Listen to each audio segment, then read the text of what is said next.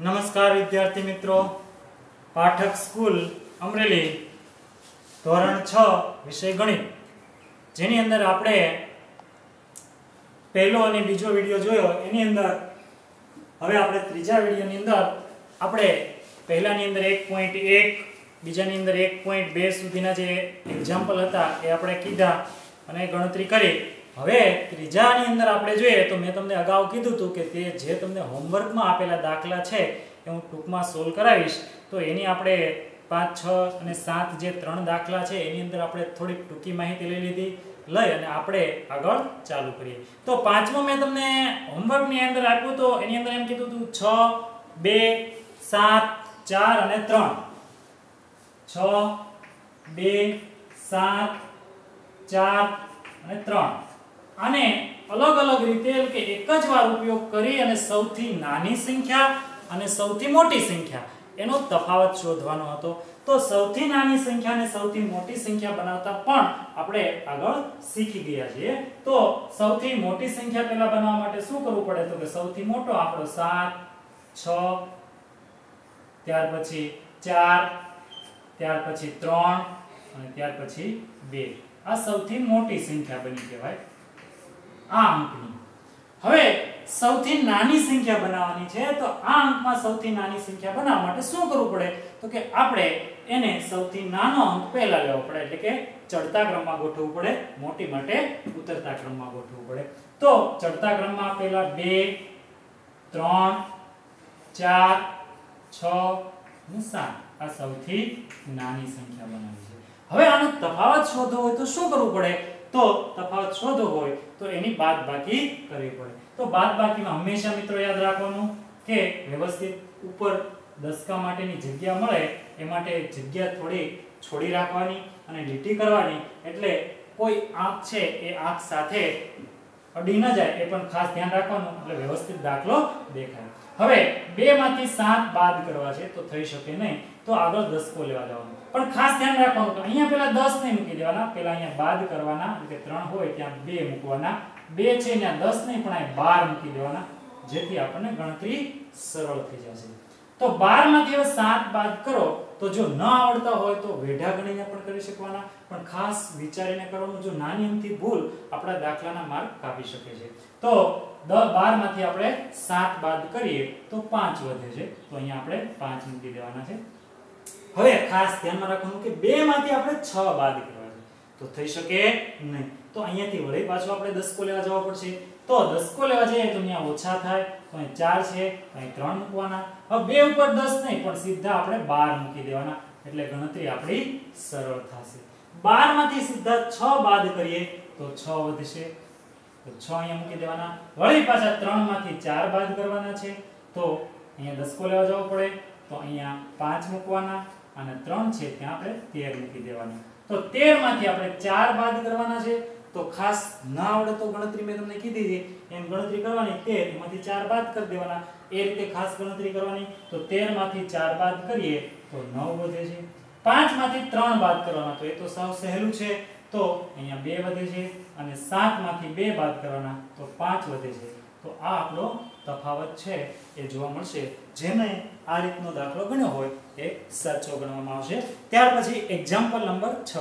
એની અંદર તમને રકમ મેં તમને પીડીએફની અંદર પણ આપેલી છે, અથવા તો મેં તમને એની અંદર દર્શાવેલી અને વાંચીતી પણ ખરી. અને એ ફરી વખત તમને કહું છું કે એક મશીન એક દિવસમાં સરેરાશ બે હજાર આઠસો ને પચીસ સ્ક્રૂનું ઉત્પાદન કરે છે. કેટલા સ્ક્રૂનું? બે હજાર આઠસો અને પચીસ સ્ક્રૂનું ઉત્પાદન કરે છે.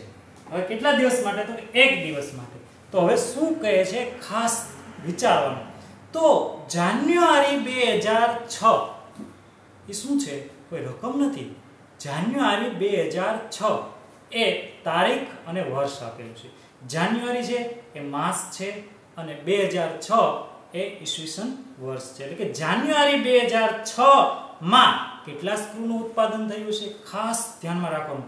જાન્યુઆરી બે હજાર છ. આ બે હજાર છ એ કોઈ રકમ નથી, પણ જાન્યુઆરી બે હજાર છ એ ડેટ, તારીખ અને માસ છે. તો એ બે તારીખની અંદર કેટલા દિવસો આવે? એટલે કે જાન્યુઆરી બે હજાર છ ની અંદર કેટલા દિવસો આવે? તો હંમેશા જાન્યુઆરી માસની અંદર ગમે તે વર્ષ હોય, એની અંદર એકત્રીસ દિવસો આવે. તો આપણને માહિતી આપી દીધી કે એક દિવસની અંદર બે હજાર આઠસો ને પચીસ સ્ક્રૂ ઉત્પન્ન છે તો જાન્યુઆરી બે હજાર છમાં કેટલા સ્ક્રૂનું ઉત્પાદન થયું છે તો એને ગુણ્યા એકત્રીસ કરી દેવાના. તો એનો ગુણાકાર આવડે એટલે દાખલો સાવ સહેલો. બસ, આમાં એ જ સમજવાનું છે કે ખાસ કે જાન્યુઆરી બે હજાર છ છે એ બે હજાર છ ની સાથે અહીં કોઈ છેડછાડ કરવાની નથી. ઘણા શું કરે છે? તો કાંઈ બે હજાર છ લખી બાદ બાકી કરે છે.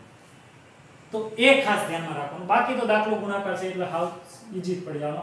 દશકની શૂન્ય, પાંચ તેરી પંદર નો પાંચડો, બધી પડી એક, બે એકા બે બે દુ, ત્રણ દુ, છ ને એક સાત, આઠ તેરી ચોવીસ નો ચોગડો, બધી પડી બે, ત્રણ દુ, છ બે, આઠ, એક પંચા પાંચ, એક દુ દુ એક અઠા આઠ, એક દુ દુ, શૂન્ય મૂકી દેવાની. પાંચ, સરવાળો પાંચ ને બે સાત સાત ને આઠ પંદર, વધી એક, સાત ને આઠ. તો આનો જવાબ આવશે સત્યાસી હજાર પાંચસો ને પંચોતેર સ્ક્રૂનું ઉત્પાદન એમને કર્યું છે. તો આવી જ રીતનો આપણો ત્રીજો એક્ઝામ્પલ છે, એ પણ જોઈ લઈએ કે એની અંદર શું કહેવામાં આવે છે? તો એમાં એમ કીધું છે કે જો ખાસ ધ્યાનમાં રાખજો, કારણ કે આ દાખલાની અંદર ઘણીવાર આપણે ભૂલ પડવાની સંભાવના વધી જાય છે. તો એની અંદર એ જ ટાઈપનો દાખલો કે એક વેપારી પાસે અઠ્યોતેર હજાર પાંચસો ને બાણું રૂપિયા હતા. કેટલા રૂપિયા હતા? અઠ્યોતેર હજાર પાંચસો ને બાણું. તો અહીંયા લખવાના, અઠ્યોતેર હજાર પાંચસો ને બાણું આ રૂપિયા હતા. બરાબર છે? તો અઠ્યોતેર હજાર પાંચસો ને બાણું રૂપિયા હતા. તેમણે બારસો રૂપિયાનો એક એવા ચાલીસ રેડિયો સેટ ખરીદ્યા. બારસો રૂપિયાનો એક. કેટલા રૂપિયાનો? બારસો. બારસો રૂપિયાનો એક એવો રેડિયો. જોયો છે રેડિયો કોઈ? રેડિયો આવતો પહેલા. સરસ મજાનો. ની અંદર ખાસ કરીને અમુક બહુ સરસ કાર્યક્રમો આવતા. યુવાણી, પછી આકાશવાણી રાજકોટની અંદર આપણે અહીંથી પણ પાઠક સ્કૂલની અંદરથી પણ એનો એક કાર્યક્રમ ગયો હતો. પણ એ બાબત આપણે પછી ક્યારેક માહિતી લેશું. અહીંયા એક રેડિયો છે, એના બારસો રૂપિયા છે. તો આવા કેટલા રેડિયા લે છે? તો કે ચાલીસ. તો પેલા આપણે રેડિયાની કુલ કિંમત છોડી લેવી પડે. તો કે આવા ચાલીસ રેડિયો છે, એ ખરીદે છે. એની પાસે કેટલા રૂપિયા છે? બાર અઠ્યોતેર હજાર પાંચસો બાણું રૂપિયા. હવે બારસો રૂપિયાનો એક એવા ચાલીસ રેડિયો એ ખરીદે છે. તો કેટલા રૂપિયાના રેડિયો ખરીદે છે? પછી આગળ વાંચી લઈએ એટલે આપણને ખબર પડી જાય. તો સેટ ખરીદવાનો ઓર્ડર આપ્યો. ખરીદી પછી તેની પાસે કેટલા રૂપિયા બાકી રહેશે? જો ખરીદીનો ઓર્ડર આપ્યો ને, અને પછી એમ કહી દીધું હોય ને કે એને ખરીદીનો ઓર્ડર આપ્યો, તો કેટલા રૂપિયા બાકી રહેશે? તો બધા રૂપિયા બાકી રહે. શા માટે? અને ખરીદીનો ઓર્ડર આપ્યો છે. એને ખરીદ્યા નથી હજી. એટલે શબ્દ ઉપર ખાસ ભાર દેવાનો. એને શું કીધું છે? ખરીદીનો ઓર્ડર આપ્યો. પણ પછી એમ પાછળથી ઉમેરે છે કે ખરીદી પછી તેની પાસે કેટલા રૂપિયા? એ લીટી ખાસ મહત્વની છે. તો ખરીદી પછી એમની પાસે કેટલા રૂપિયા બાકી રહેશે એ માહિતી માટે શું કરવું પડે? તો કે ગણતરી કરવી પડે. શૂન્ય, ચાર અરે શૂન્યનો ગણતરી. ચાર અરે શૂન્યની ગણતરી. ચાર દુ આઠ. ને ચાર એકા ચાર. અડતાલીસ હજાર રૂપિયાના એને રેડિયો ખરીદ્યો એમની પાસે કેટલા રૂપિયા હતા? અઠ્યોતેર હજાર પાંચસો ને બાણું રૂપિયા. કેટલા રેડિયા પાછળ ખર્ચ કર્યો? અડતાલીસ હજાર. તો એની કેટલા હવે બાકી રહ્યા હોય તો બાદ બાકી કરો એટલે આપણને ખબર પડી જશે. ખાસ અહીંયા ઉપર નીચે લીટી કરી નાખવાની, એટલે ખબર પડી જાય. તો બે શૂન્ય બે, નવમાંથી શૂન્ય જાય તો નવ, પાંચમાંથી શૂન્ય જાય તો પાંચ, આઠમાંથી આઠ જાય તો શૂન્ય, સાતમાંથી ચાર જાય તો ત્રણ. ત્રીસ હજાર પાંચસો અને બાણું રૂપિયા એમની પાસે બાકી રહેશે. આશા છે કે બધાના એક્ઝામ્પલો જે આપેલા છે તે સાચા પડેલા હશે. હવે આપણે આગળ વધારાના જે એક પોઈન્ટ ત્રણ છે એ જ પણ આ રીતે ગણતરી કરીશું અને અમુક જે એક્ઝામ્પલો છે એ તમને આપીશું અને પાછળથી એનું સોલ્યુશન કરશું. હવે એક પોઈન્ટ ત્રણની અંદર, એક પોઈન્ટ ત્રણની અંદર જોઈએ તો સામાન્ય નિયમો વાપરી અને અંદાજ મેળવો એવું કહેવામાં આવે છે. સામાન્ય એટલે કે આમાં નિયમ વાપરવાનો છે. તો આ અત્યારે તમારા માટે નવું છે કે નિયમો કઈ પ્રકારના નિયમો વાપરવા? તો તમારી પાસે ખાસ કરીને ટેક્સ્ટ બુક્સ તો બધા પાસે હશે કારણ કે અહીંથી આપણે ટેક્સ્ટ બુક બધાને પ્રોવાઈડ કરવાની સુવિધા કરેલી છે. એટલે ટેક્સ્ટ બુક બધા પાસે હશે. ન હોય તો એ કોઈનામાંથી સાંભળે અથવા તો આ વિડીયોની અંદરથી સાંભળી અને રકમને એક્સેપ્ટ કરી અને ગણતરી કરવાનો પણ પ્રયત્ન કરે છે. તો એમ કીધું છે એક પોઈન્ટ સામાન્ય નિયમ વાપરી અને નીચેનાનો અંદાજ મેળવો છે. એમાં શું કીધું છે? સાતસો પ્લસ નવસો ને અઠ્ઠાણું. કેટલું કીધું છે? સાતસો પ્લસ નવસો ને અઠ્ઠાણું. સાતસો પ્લસ નવસો ને અઠ્ઠાણું. હવે સામાન્ય નિયમ વાપરવામાં આપણને શું કીધું છે? કે આને કોઈ એવી શૂન્ય સાથે અને શૂન્યની બાજુમાં લઈ અને આપણે ગણતરી કરવાનો. અંદાજ લેવાનો છે. તો અહીંયા આપણે જે આ રકમ છે, એને જોવાનું કે શૂન્ય છે. એની આજુબાજુ કઈ રકમ આવે શૂન્ય વાળી? તો કે અઠ્ઠાણું છે એટલે એક હજાર આવે. નવસો નો આવે, કારણ કે બાદ વધારે કરવા પડે. તો સામાન્ય નિયમમાં શું આવે? તો આની રકમ આમ લેવાય, સાતસો. તો કે એમાં તો કંઈ કરવાનું છે અહીંયા એક હજાર. તો જવાબ શું આવશે? તો કે સત્તરસો. એવો જ એક્ઝામ્પલ બીજો તમને મૌખિક આપું છું. માનો કે તમને એમ કીધું હોય સાતસો ત્રીસ પ્લસ નવસો અઠ્ઠાણું. તો જવાબ શું આવે? તો તમારે શું વિચારવાનું થશે આનું તો આપણે વિચારી લીધું આનું શું વિચારવાનું? શૂન્યની આજુબાજુમાં દશાંશ એટલે કે પચાસ સો કોની બાજુમાં આવે? પચાસની બાજુમાં આવે કે સોની બાજુમાં તો કે આ સાતસોની બાજુમાં જ આવે. કારણ સાતસોની ને આઠસોની વચ્ચેનો આપણે દશાંશ જોવાનો છે. બરાબર? સાતસો અને આઠસો. ખાસ સમજજો. આ આઠસો. એમાં સાતસો ત્રીસ. એ કઈ બાજુ મૂકી શકાય? આ આટલો ગેપ છે, એની અંદર આ વચ્ચે સાતસો પચાસ છે. તો સાતસો ત્રીસ આ બાજુ મૂકી શકાય કે આ બાજુ મૂકી શકાય? તો સાતસો ત્રીસ તો સેટ આ બાજુ આવે, આની બાજુ આવે. તો કઈ રકમ લેવાની છે? સાતસો લેવા. સમજાણ? ખાસ યાદ રાખવાનું. કમ્બાઈન કરવાનું ધ્યાન રાખવાનું. દશાંશની અંદર, ઘણી વખત, શતાંશની અંદર આવશે, સહસ્ત્રાંશની અંદર આવશે. પણ દશાંશની અંદર ને શતાંશની અંદર ખાસ ધ્યાન રાખવાનું કે કોની વચ્ચે આવશે. જો આપણે નવસો અઠ્ઠાણું છે, તો નવસો ને અઠ્ઠાણું. તો કોની વચ્ચે આવે? એ જોવા માટે શું કરવાનું? તો કે નવસો અને હજાર. આ એક હજાર. આ બંનેની વચ્ચે ગેપ છે, એ અહીંયા નવસો પચાસ આવશે. કેટલા આવશે? નવસો પચાસ. એ વચ્ચેની સંખ્યા છે. તો નવસો અઠ્ઠાણું કોની બાજુમાં આવે? તો આની બાજુ કહેવામાં આવે. કારણ કે નવસો અઠ્ઠાણું અહીંયા આપણે અહીંયા લખી શકીએ, બે જ ઘટે આ રીતે તમારે રફ કામની અંદર ખાસ કરી લેવાનું. જો આ રીતે રબકામ કરશો, તો અહીંયા ગણતરીમાં ભૂલ નહીં પડે. કારણ કે આ ગણ- ગણતરી તો સાવ સહેલી છે, અંદાજ મેળવવાની. પણ અહીંયા તમારે ડિસિઝન જે લેવાનું છે, એ જ ખાસ મહત્વનું છે. ડિસિઝન મહત્વનું છે, ગણતરી એ મહત્વની તો છે, પણ ડિસિઝન જો સાચું હશે, તો ગણતરી સાચી પડશે. જો ડિસિઝન આપણું ખોટું હશે, તો આપણી ગણતરી ખોટી પડવાની સંભાવના વધી જવાની છે. હવે એવો જ એક તમને એક્ઝામ્પલ આપું, સાતસો ને છન્નું. પ્લસ સાતસો છન્નું પ્લસ ત્રણસો ચૌદ. હવે તમે બધા લગભગ મૌખિક રીતે પણ કરી શકો.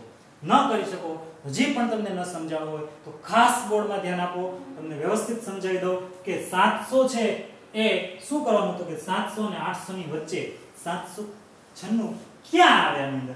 તો કે સાતસો ને છન્નું, સાતસો પચાસ પછી આવે. એટલે કે આની બાજુ આવે. સાતસો ને છન્નું અહીંયા આવે. તો શું મુકાય? તો કે આઠસો મુકાય. અહીંયા લઈ લેવાના આઠસો. પ્લસ અંદાજ લેવાનો. ત્રણસો ચૌદ. હવે આપણે ખબર પડે. ત્રણસો ને ચારસો શા માટે લીધા? ત્રણસો ને બસો કેમ ન લીધા? તો એ ખાસ ધ્યાન રાખવાનું. આ જે આંકડો છે, એના પછીનો જે નેક્સ્ટ આંકડો છે, એને લેવાનો છે. આગળ વધવાનું છે. પાછળ જવાનું નથી. એટલે ત્રણસો અને ચારસો. આની વચ્ચે ત્રણસો પચાસ અહીંયા આવે. હવે ત્રણસો ને ચૌદ કોની બાજુમાં આવે? ત્રણસો ની બાજુમાં આવે કે ચારસો ની તો કે આ બાજુ આવે, ત્રણસો ચૌદ. તો શું લેવાનું? ત્રણસો લેવાનું. તો અહીંયા આપણે શું મૂકવાનું છે? ત્રણસો મૂકવાનું. હવે આપણો અંદાજ શું થાય તો કે ત્રણસો ને પ્લસ આઠસો આઠસો ને પ્લસ ત્રણસો, અગિયારસો કુલ અંદાજ આપણો થશે. તો આ રીતે આપણે ગણતરી કરવાની છે. એવા જ બીજા એક બે એક્ઝામ્પલ તમને હોમવર્કની અંદર પણ આપવામાં આવે છે. જે બોર્ડ ઉપર લખવામાં આવે છે, તો ખાસ ધ્યાન રાખજો. એ બોર્ડ ઉપર લખેલા હોમવર્ક છે, એની રકમ હું તમને બોર્ડ ઉપર લખી દઉં છું. આ એક્ઝામ્પલ તમારે લખવાના છે. તો એચ ડબલ્યુ ની ખાસ હોમવર્કના અંદાજ ધ્યાનમાં રાખ્યો બાર હજાર નવસો ને ચાર પ્લસ બે હજાર આઠસો ને અઠ્યાસી. ત્યાર પછી બીજો એક્ઝામ્પલ છે એમ કે છે અઠ્યાવીસ હજાર બસો ને બાણું પ્લસ એકવીસ હજાર ચારસો છન્નું શું કરવાનું છે એ તમને બધાને ખબર છે.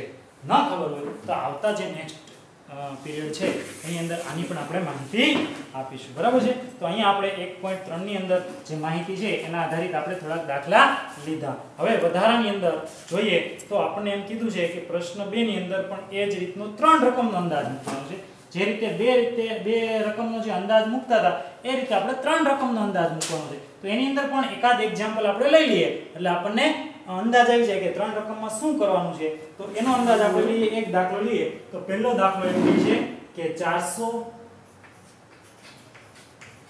પ્લસ ત્રણસો ચોત્રીસ પ્લસ ચાર હજાર ત્રણસો સત્તર. જો અહીંયા તમને રકમની અંદર ખાસ ધ્યાન રાખજો.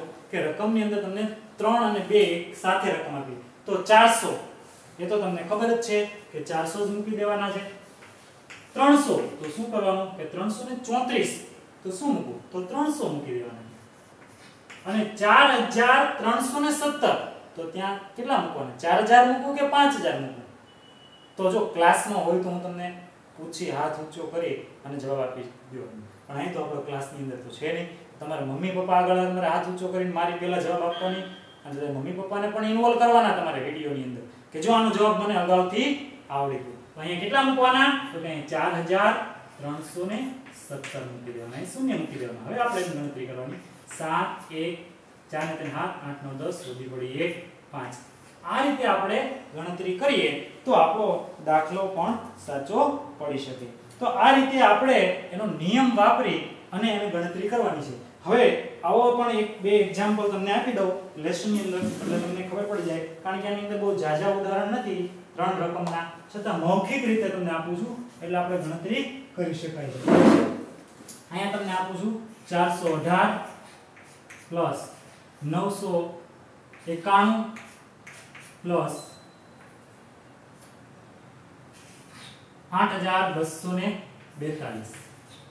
ચોથો છે એક્ઝામ્પલ, પાંચ હજાર નવસો બેતાલીસ પ્લસ છસો નવ્વાણું પ્લસ એક હજાર નવસો નેવું. આ ચાર એક્ઝામ્પલ છે એ તમે તમારી નોટબુકની અંદર ખાસ લખી અને રાખજો. હું પણ આનો એક ફોટો પાડી અને રકમની મને ખબર પડે, એટલે તમને પીડીએફમાં પણ મોકલીશ અને આવતી વખતે આપણે ચેક પણ કરી શકશું. તો આ રીતે આપણે ટૂંકા દાખલા છે અને હવે પછીનો જે નેક્સ્ટ ત્રીજો પ્રશ્ન છે એ ખાસ સમજવાનો છે, પણ અત્યારે નહીં, એ આવતા પીરિયડની અંદર સમજવામાં આવશે. ત્યાં સુધી આ વ્યવસ્થિત હોમવર્ક કરી રાખજો.